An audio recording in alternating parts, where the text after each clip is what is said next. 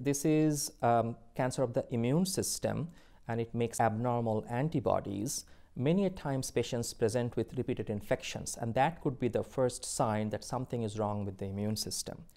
If the multiple myeloma progresses, and by the name you know it is multiple, could be any sites inside the bone, and that bone may become painful and in extreme situations can even fracture. So it is un not unusual for us to see a patient that presents with a fractured hip or a fractured vertebra, and that may be the first sign of something wrong in the bone and in the immune system. However, many a times multiple myelomas can present as an acute kidney failure because those abnormal proteins block the kidney tubules.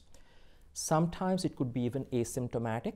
Patients do not have any symptoms and just a routine blood test, the primary physician or the doctor can find a very high abnormal protein and then subsequent tests may show that this is a case of multiple myeloma.